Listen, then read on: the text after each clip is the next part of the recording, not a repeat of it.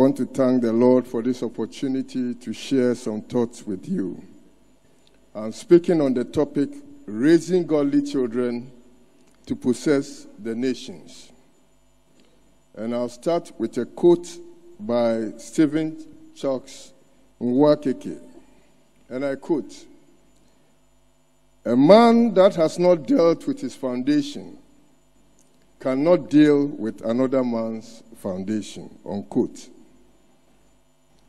We live in an era where the fight for the capture of the minds and thoughts of children and the young ones have become the challenge of society. Today, children are exposed to all manner of ideas and issues on our televisions, our radios, video games, mobile phones, the social media, etc. Unfortunately, most parents and guardians pay less attention to some of these issues. Again, some of the issues are being pushed discreetly using the media landscape and others in the form of policies from national governments through our educational system. And recently, as you are aware already, the comprehensive sexuality education came. And there was a hue and cry all over the place. The question I was asking myself was it is good that we reacted, but why are we reacting? The fundamental issue is that for most of us, we were concerned about the foundation of our children.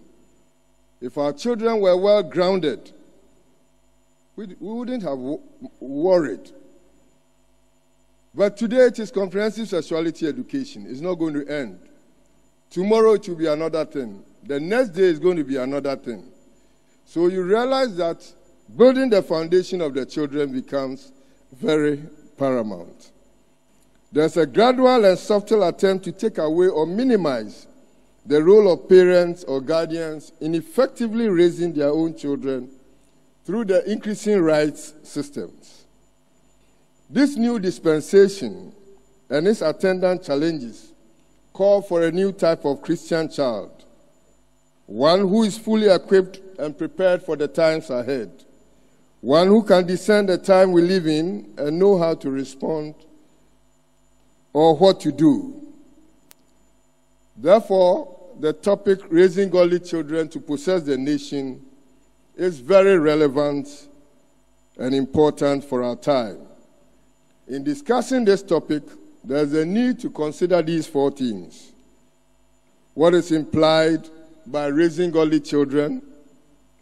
Who is a godly child? What is their value to us? And where should they be raised?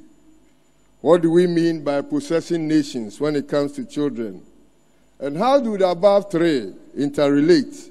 And what strategies do we have to, or do we need to achieve our set goal?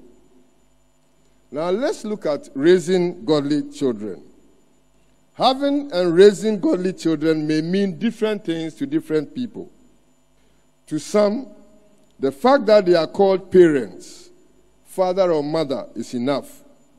For others, it brings about societal respect and acceptance and this is pleasing to them. Whilst to some, they see children as a burden.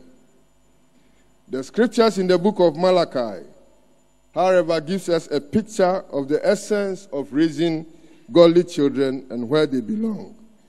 Malachi 2:15. And it states, "But did he not make them one, having a remnant of the spirit? And why one? His six godly offspring." Therefore, take heed to your spirit, and let none deal treacherously with the wife of his youth. We realize that one of the reasons God brings two people together in marriage is for the purpose of raising godly children. Children who look like him and honor him. The goal of producing godly children is for them to reflect his son, Jesus Christ. Therefore, Christian parents should always be conscious of the fact that what the Lord seeks from them or from us are godly children. Genesis 18 19. One writer, defining broadly the essence of raising children, stated that it is the process of promoting and supporting the physical, emotional, social, and intellectual development of a child from infancy to adulthood. From this definition, it implies that raising children involves training and impacting on the physical characteristics of the child's personality. By this, it touches on how they have to express themselves in words, in their thoughts, and their feelings as they develop, invariably touching on their behavior. Again, raising children involves the training and impacting on the social and emotional learning of the child. When this is done efficiently and effectively, it touches on the personality, academic, and social attributes of the developing child. The third element from the definition is that in raising children, one trains and impacts on the intellectual capacity of the growing child. This affects learning and understanding, thus influencing the child's actions and overall behavior. In all these, we realize two running words training and impacting, meaning that there is some teaching, guidance, and what I term deposition. Some traits, skills, and knowledge are transferred to the child at the end of the process. Therefore, raising children, and more especially godly children, can be delicate, difficult, demanding, stressful, but at the end, satisfying. It requires commitment and hard work. Again, it takes a lot of time, resources, patience, and love. Therefore, Christian parents should be prepared for this task which the Lord expects of them. On the whole, it is a great blessing to have the opportunity to raise children. In the raising of godly children, two elements dominate, and these are nurturing and training according to God's ways. Nurturing is about training, upbringing, taking care of, protecting, or providing to someone. In all these ways, which define nurturing, there is an element of empathy. Alfred Adler, a psychologist, explains empathy as follows seeing with the eyes of another, listening with the ears of another, and feeling with the heart of another. This is what we are expected to do in raising children. A report by the Michigan State University in 2013 stated that nurturing is a critical life skill for increasing the health and well being of children and families. Training, on the other hand, is, a, is more about teaching. These two form an integral part of the whole process, and they are very important. One of the key assignments is that in our nurturing and training, we imprint godly values into the child's life. Unfortunately, our current, in our current dispensation, parents, guardians, and teachers are doing more training than a combination of nurturing and training. Studies have shown that 85% of the influence on a child's life come from the home. Therefore, one can infer that children will be what their home is. Can we also liken this to the church or the children's ministry? Can we say that a child's Christianity or level of faith will be determined by the state of their Sunday school? This is something for us to reflect on. Reflecting on these issues make one realize the subtle attempt to take the power and influence of the home from the whole process of bringing up children and redirecting it into policies and controlled by state institutions.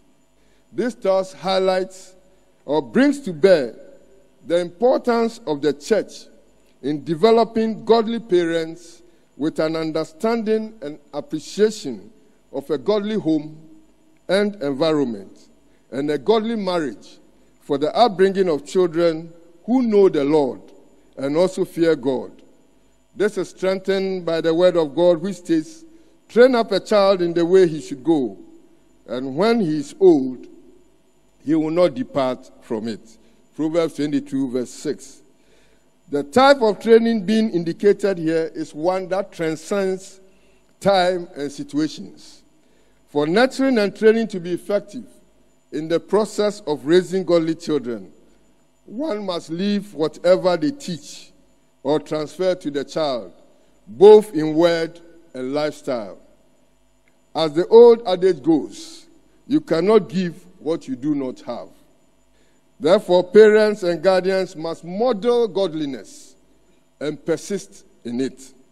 For it is through this that one can cultivate the attributes of godliness in the children. This is because children more often than not model the character of their parents, guardians, and their teachers. We see this strengthened in Paul's communication to Timothy in the first book of Timothy and also in his letter to the Ephesians. 1 Timothy 4:16. Watch your life and the doctrine closely. Persevere in them, because if you do, you will save both yourself and your hearers. And in Ephesians 5 1 to 2, it says, Therefore be imitators of God as dear children, and walk in love as Christ also has loved us and given himself for us an offering and a sacrifice to God for a sweet smelling aroma.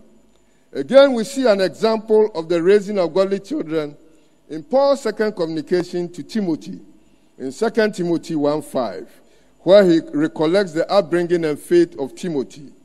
I am reminded of your sincere faith, which was first lived in your grandmother Lois and your mother Eunice, and I'm persuaded now lives in you also.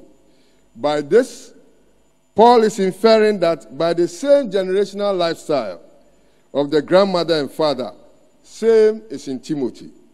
This is because he believes that a lot of work has gone on in terms of nurturing Timothy in the things of God, because it is an imprint of the family. From the trend, it implies that at each stage, they make sure that it is imprinted in your heart, on your mind, and in your actions. Can the same be said about us, about our children, and as a church, about our children's ministry? Now let's look at the child. Generally, children are an outcome of the union between man and woman. In the context of God's word, children are as a result of God's blessings. Therefore, we see in the book of Genesis, Genesis 1 28a, then God blessed them, and God said to them, Be fruitful and multiply, fill the earth and subdue it. Therefore, we appreciate that children are as a result of God's blessing. God's word also teaches us that children are a heritage from the Lord. It states in Psalm 127, verse 3 Behold, children are a heritage from the Lord. The fruit of the womb is a reward. The word heritage means property, treasure, that is, or may be inherited, or a special or individual possession. Therefore, the child is a special gift or treasure that God gives to us to care for, to nurture as stewards for Him. Thus, there is an accountability element for parents and the church on each child God gives to us. We would account for all the children we have in our children's ministry. By the word heritage, it implies that children are not made but inherited from an original owner, God. Therefore, they must be handled with all the utmost care and value required by all stakeholders who encounter them the parents, the guardians, the church, and society. However, this must be done on the principles and core values of the giver, who is God. Children are one of the most valuable members of the family and the church. They form the foundation and base of the family and of the church. They carry the touch and the name of the family and also of the church. For the family, they represent the lineage and carry the image. They build generations. Scripture gives a better appreciation of the importance of children. It states in Psalm 127, verses 4 and 5 Like arrows in the hand of a warrior are the children of one's youth. Blessed is the man who fills his quiver with them. Children are described as arrows, and arrows are potent ammunitions which have been used for generations till now in battles and in the practice of pursuing or tracking animals. However, arrows need to be well fashioned. That is, they need to be designed and worked on and directed to achieve optimum results. And this comes with practice. From the scriptures, it can be inferred that a warrior fights and wins battles. He did, does this with precision and useful tools, like an arrow, which is well designed for purpose. Thus, children form very important element in achieving the Vision 2023 of the church. As arrows, they are very powerful and potent, but they need to be well nurtured and trained to enable them become the effective and efficient future generations and leaders of the church. This requires focus, patience, and dedication. Raising godly children also brings value to the home and the church. This is because they help sharpen the skills and value systems of the Christian parent or guardian. This effect is in different areas, including the practicing of the Christian faith, expression of love and care, role modeling, prayer, sacrifice, forbearance, commitment, forgiveness, and the list goes on. Now let's look at children possessing the nations. To possess means to have ownership, to occupy in person, to hold or actually have in one's own keeping, to have and to hold. As for to have and to hold, it's a key word of the pastorate because they use it a lot in weddings to have and to hold. Simply put, it is about ownership, occupation, and influence. Thus, possessing nations, as defined by our chairman, Apostle Eric Nyamekye, is a system where members possess their nations by transforming every worldview, thought, and behavior with values, principles, and lifestyles in the kingdom of God, turning many to Christ. By this, it means the possessor must first have the values, the principles, and the lifestyles of the kingdom. Possessing the nations is a proactive term which requires positive action based on godly principles and values. It is about dominance, it is about influence, and it is about taking possession in every space that one finds himself or herself. The term is also very synonymous with the children of Israel in their march to the promised land. The charge was to occupy, to dominate, and to own. However, this is a task that should be done holistically and thus must include the children. To effectively achieve this with the children requires focused and purposeful raising of children in the way and the things of the Lord. This goes beyond normal parenting, but one which has a possessive or battle intent in its approach. Executing it is also the responsibility of every stakeholder, but more especially the parents or guardians and the church. Therefore, the need to raise godly children to possess the nation is a clarion call for action both for the transformation of our children and the possession of every space they find themselves. What strategies do we then need to put in place or are required by us to execute this agenda? And I grouped this into two. I looked at the major stakeholders, the parents, and then the church. And so, first, I want us to look at the parents. For the parents, I believe that we need to teach and nurture the child in Christ and His Word. And it's also fundamental for the church. This is fundamental across board and must be done through the communication of what I term the four W's. That is, effectively communicating the Word of God, effectively communicating the worth of God, effectively communicating the ways of God, and effectively communicating the works of God. For communication to be, to be done effectively so that we can achieve our desired results, it must be done consistently. This means that in our imprinting of the four W's in our children, it must be done purposefully and orderly as indicated in the book of Isaiah, Isaiah 28, verse 10.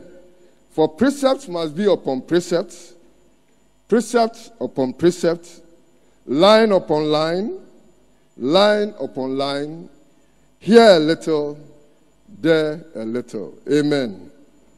It must be done continuously. Similarly, the same must be done without breaks, ensuring that we saturate every opportunity with the words and commands of God, as we find in Deuteronomy 6 7. You shall teach them diligently to your children, and shall talk of them when you sit in your house, when you talk by the way, when you lie down, and when you rise up. The third point under this is that it must be done convincingly.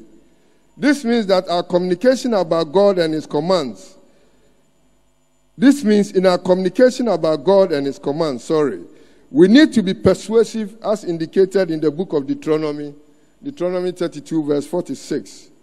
And this requires godly wisdom. He said to them, Take to heart all the words I have solemnly declared to you this day, so that you may command your children to obey carefully all the words of this law. And my last point under this is that it must be based on personal testimony and experience.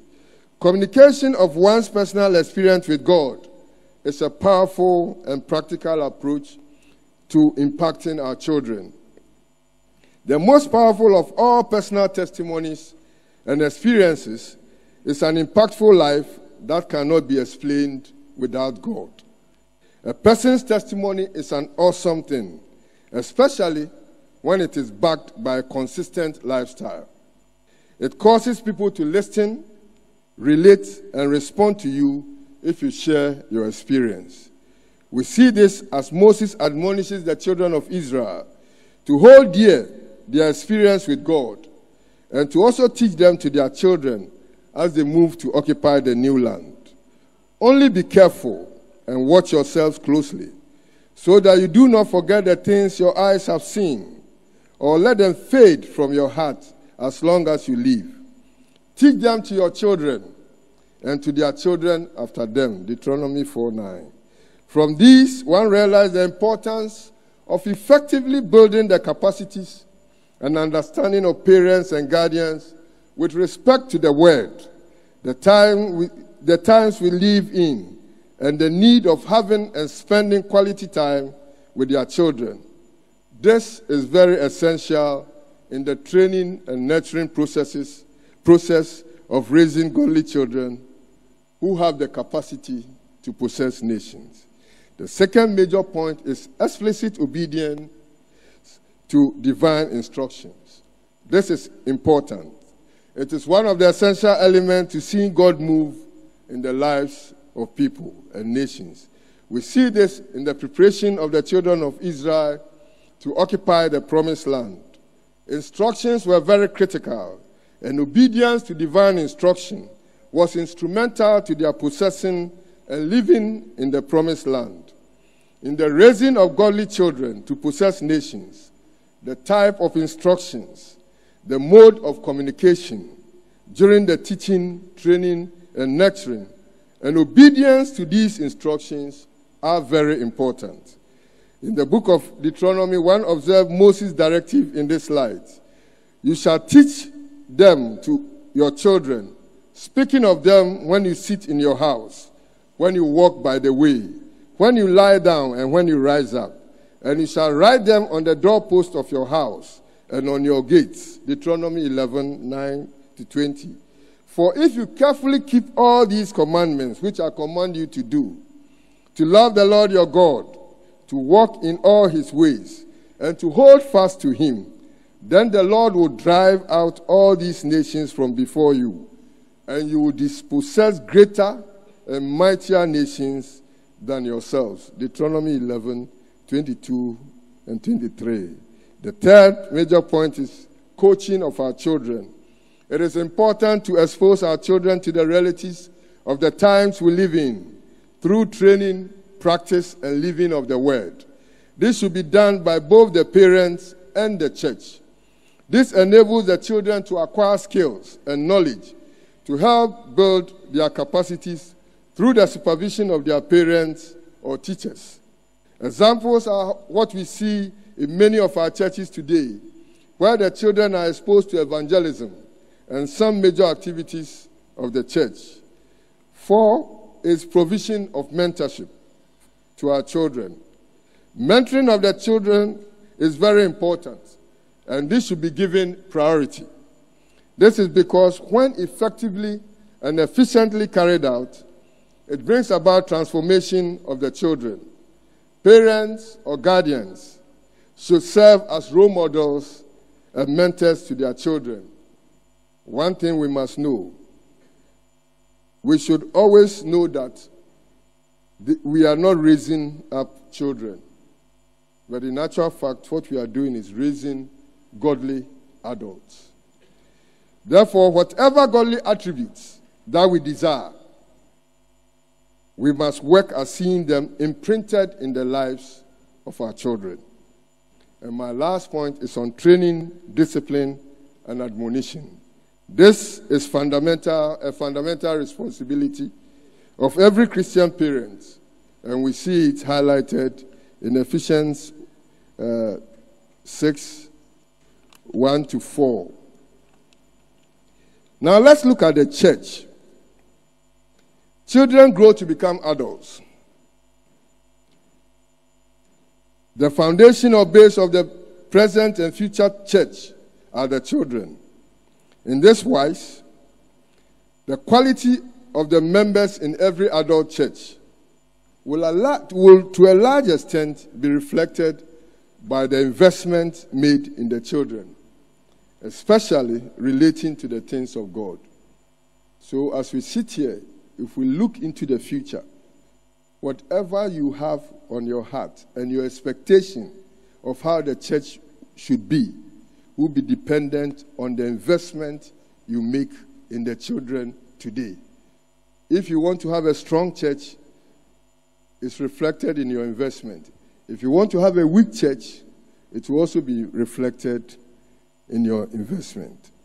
Therefore, churches are supposed to give priority to the focused training of children, especially children who are expected to possess nations. Unfortunately, in many of our churches today, the attention and investment given to the training and nurturing of our children needs much improvement. What should the church then do? The first point, and I'm making some suggestions and recommendations. One is that we need a mindset change. If children have to be part of the possessing the nation agenda, which they are, then there's a need for a mindset change about the children's ministry. This should start first from the pastorate, and then the leadership, then the rest of the adult membership. The second point is that the pastorate and the leadership, and when I say pastorate, please, it includes all my mamas who are here.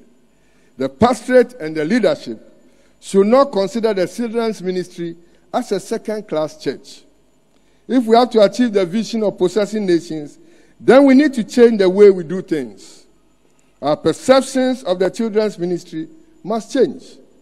It must be seen as an important unit or arm of the church and given the requisite attention and inv- investment. For example, how many pastors here have ministered or stayed throughout the children's service throughout when you consider 2019, which has just passed? How many of us decided that today we are coming to church? We dress up from the home, walk and come and sit at the children's ministry, start with them and close from them, and then go home, and then we say that we have gone to church. When you compare this to the number of times we have sat, sat at the adult service, I think the answer you can provide it better. Quite apart from that, in our churches, we appoint a music director, we appoint a choir uh, director. All they know is about the adult church. They will not even come there and look at the children's ministry choir. It doesn't concern them. The instrumentation, they won't even come down. Sometimes you have to go and fight before they will come. But it is one church, and it includes the children.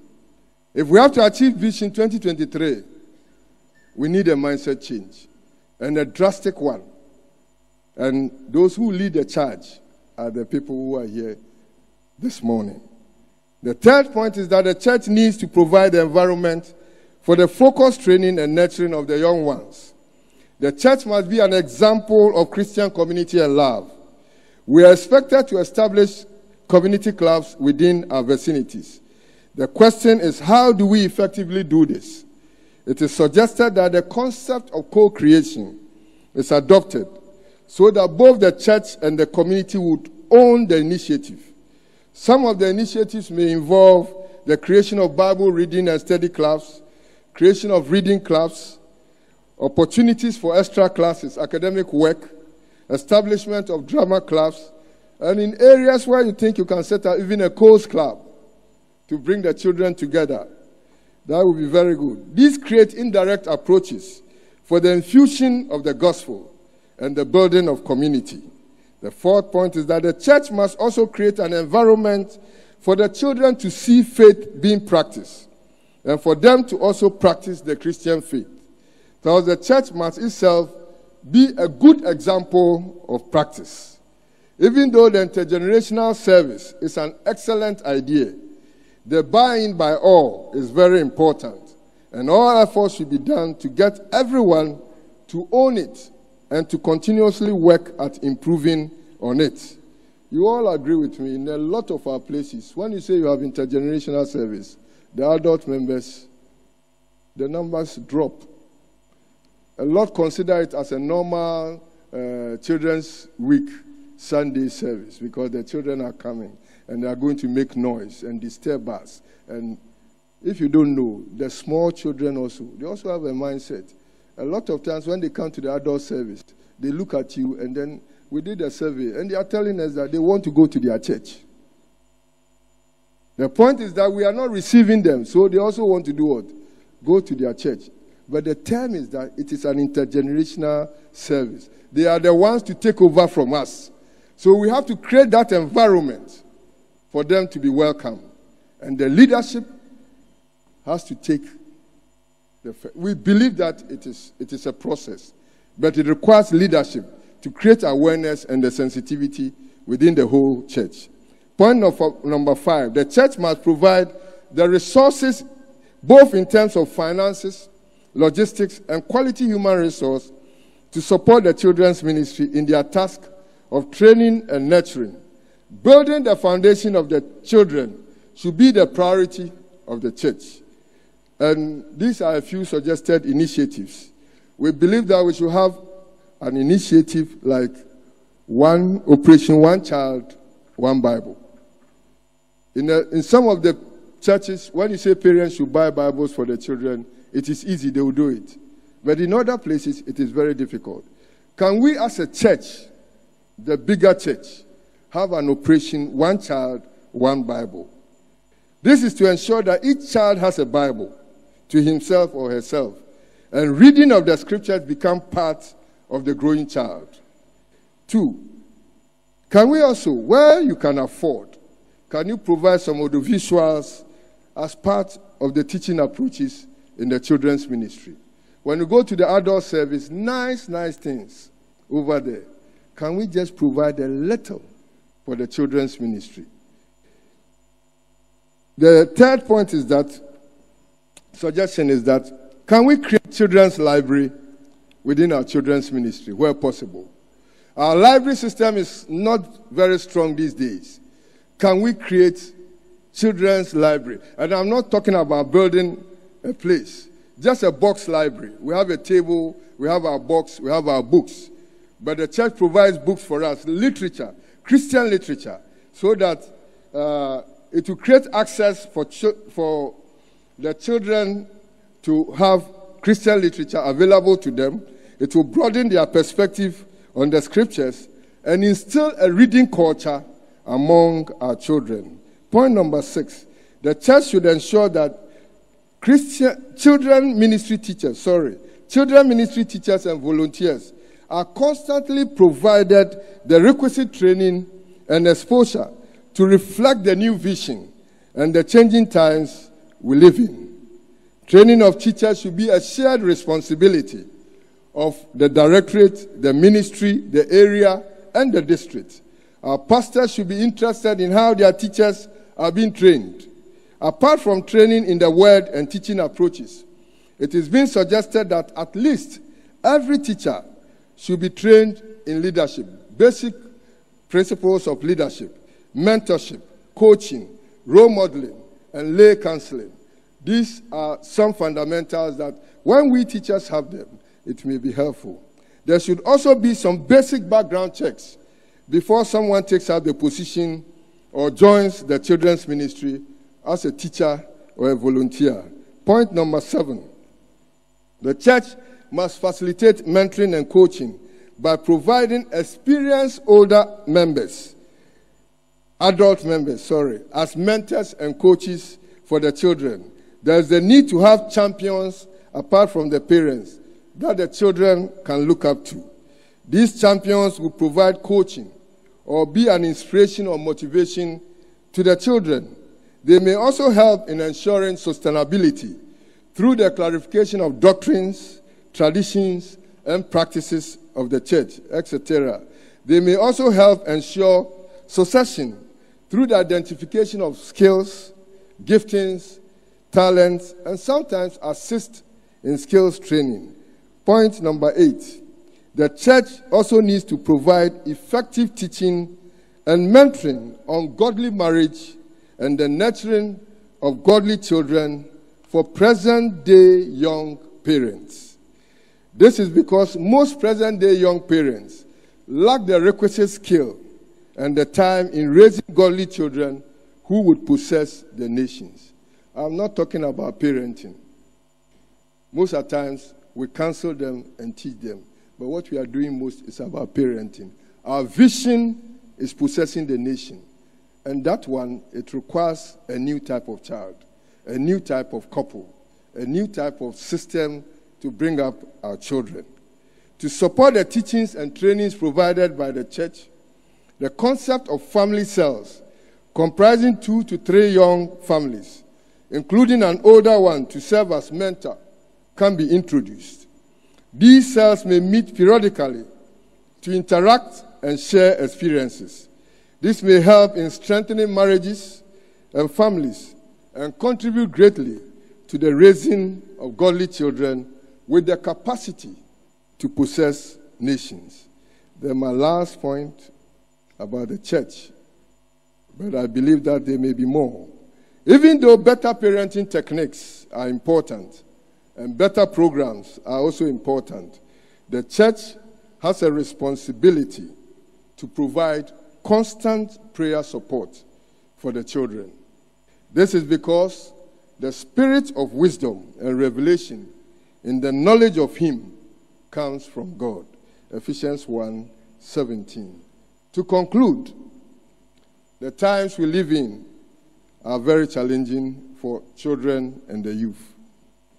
There is the need to build the capacities of the children, both in the knowledge and skill of the faith, to enable them discern the times and be able to respond to the issues. Invariably, developing a new breed of children with the Joshua and the Daniel character. Children who can possess nations, children who can influence systems and policies, and those whose very presence in a place brings about the fear of God and change to any space they find themselves. To achieve this requires commitment, sacrifice, investment, and leadership from all stakeholders, but more especially the parents and the church. The time to do this is now, and the clarion call by the leadership of the church through the Vision 2023 is in the right direction. As we work on this, we must know that we are not merely building our children's ministry, we are actually building our future. And I want to repeat it again. As we work on these, we must know that we are not merely building our children's ministry. For some, they will listen to this and think that we are going to build our children's ministry. In actual fact, I want you to go reflect deeper than this. What we are actually doing is that we are building our future. The Lord grant deeper insights and motivate us to act, even as we reflect on this presentation. In Jesus' name, amen. Thank you very much.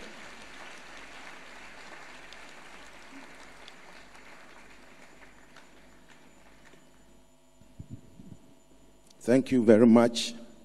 Um, we want to call all Sunday school teachers, right from the directorate, and anybody who has worked with the children before to come forward and give us their song. We want to get the song from the children's ministry. So if you've been a teacher before, or you've been involved in the work of the children's ministry before, we want all of you to come and give us a song. Probably some of you, you are going to uh, renew, you know, your interest in teaching the children after listening to such a talk.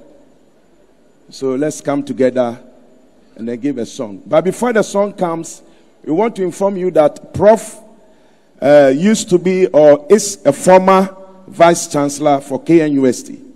And we thank God and also a Sunday school teacher. In fact, he has been a Sunday school teacher for so many years. He is still a Sunday school teacher. God richly bless you. Under the canopy, under the canopy, under the canopy of God, my Savior will cover me, give me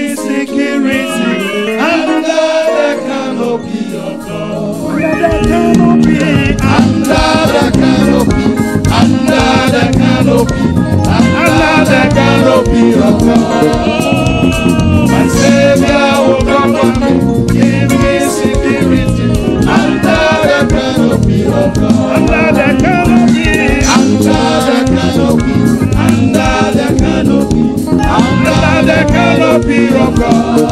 Oh, my Savior will cover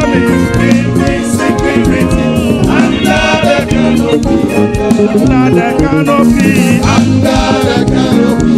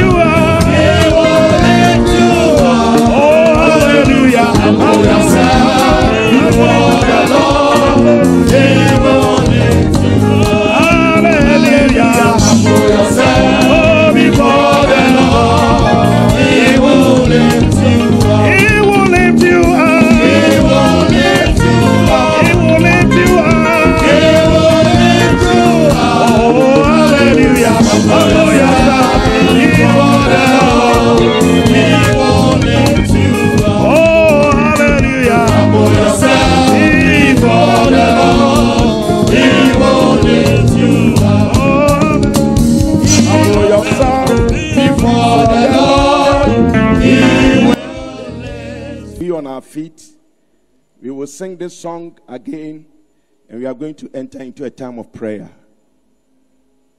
Humble yourself before the Lord, He will lift you up. Humble yourself before the Lord, He will lift you up. He lift you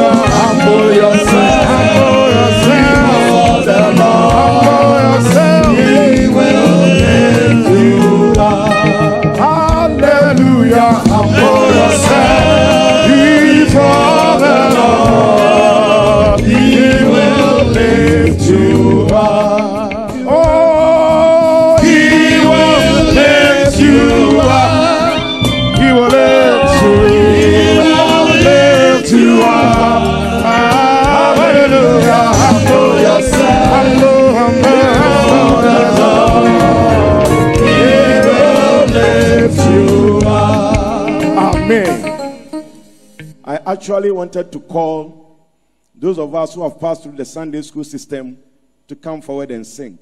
But because of time, I'm not going to do that. I just want you to raise up your hands.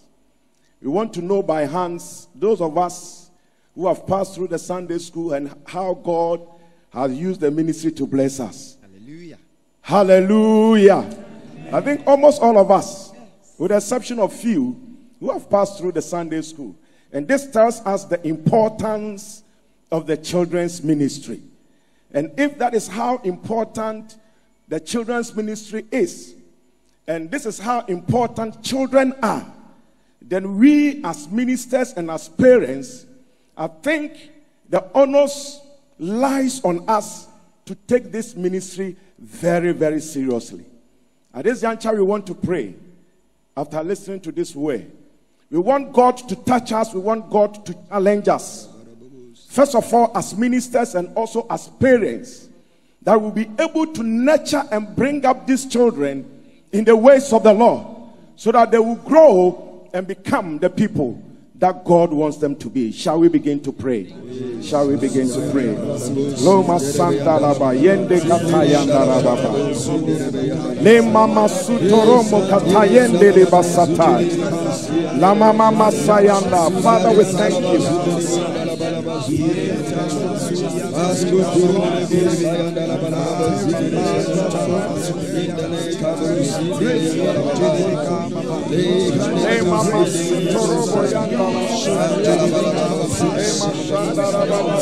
Father, we thank you, oh God. We give the praise for this message.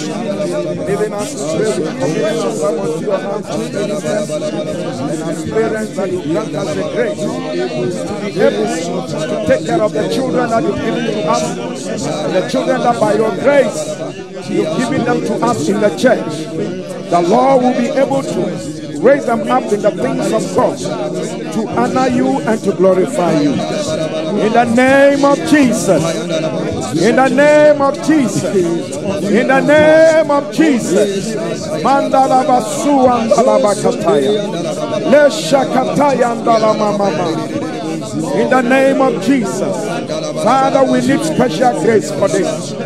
In Jesus' name. Jesus is my Savior. day by day. My, my, my.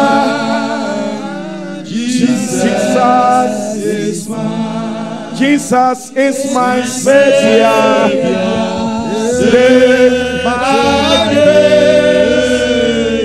My, my, my.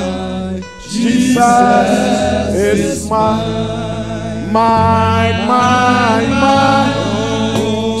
Jesus is mine. My, my, my. Jesus is mine. Jesus is my Savior. My, my, my Savior.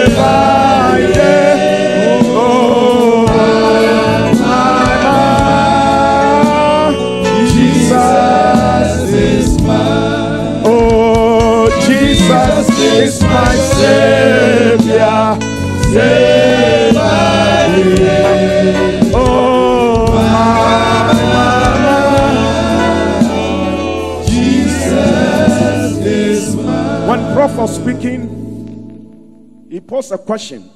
How many times we visited the Sunday school or visited the children in their service for the whole of last year?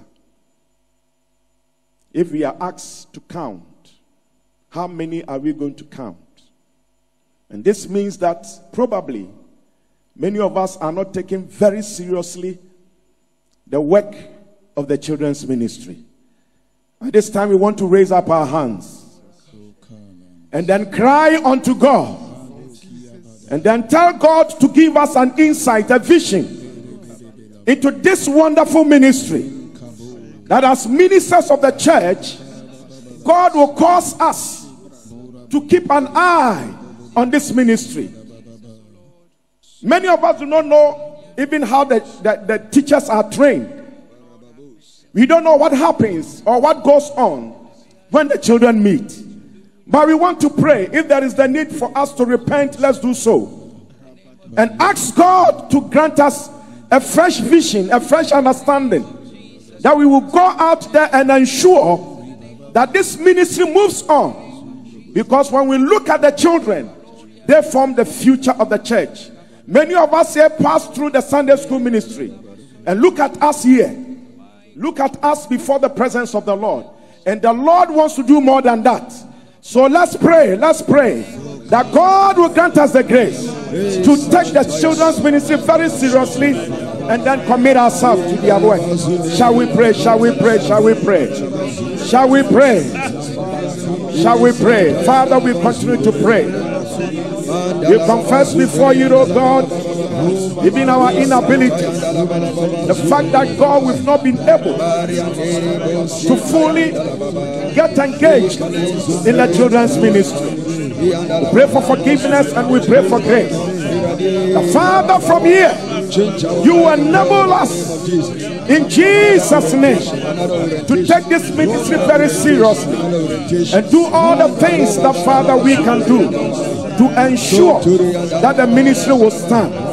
There are so many things that we can do as major partners of those who train children. We pray in Jesus' name that Father, you will help us and grant us the grace. In the mighty name of Jesus. Shall we be seated? And we want to call on Prof. Ellis to come and pray for us. Mine, mine, mine. Jesus, is mine. Mine, mine, mine. Jesus is mine. Jesus is my Savior.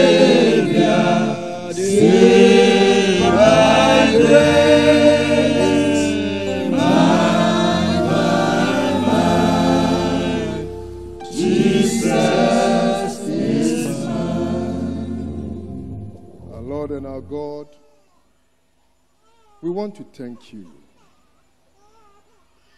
this day. Father, for the opportunity, Lord, to think and reflect, and also to hear about the children who are so precious unto thee.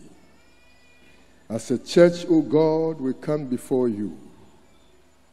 And Father, we have called unto thee.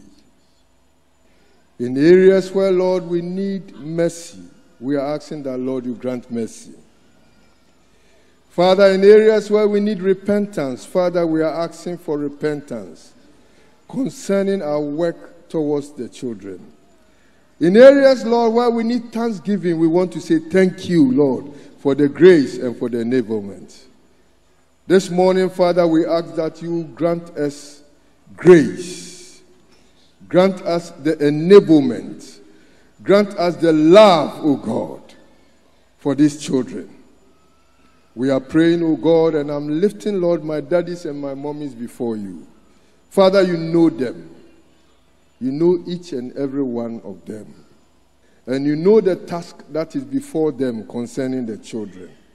I pray, Lord, for your touch this morning. Amen. I pray for your touch this morning. Amen. I pray for your touch this morning. Amen. And Lord, I'm praying, oh God, that you use us as catalyst, oh God, to build our children's ministry. And Lord, not to see it as building only the children's ministry, but to see it as a task you have given unto us to build the future of this church. We want to thank you, God, because you're prayer answering God. In Jesus' name, amen. Amen.